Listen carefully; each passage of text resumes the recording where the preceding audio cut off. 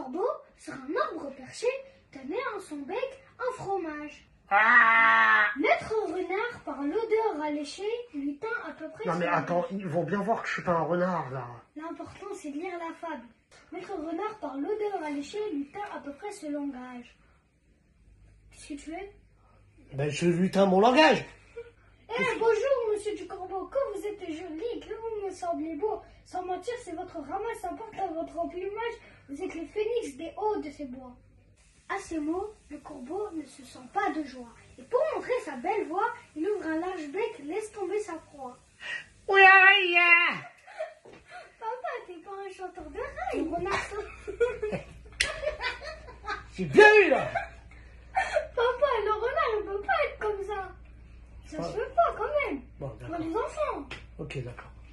Pardon, mais je t'ai bien eu. Le se saisit et dit Mon bon monsieur, apprenez que tout flatteur vit aux dépens de celui qui l'écoute. Cette leçon vaut bien un fromage sans doute. Le corbeau honteux et confus jura, mais un peu tard qu'on ne l'y prendrait plus. Sur la vie de ma mère, ça recommencera plus.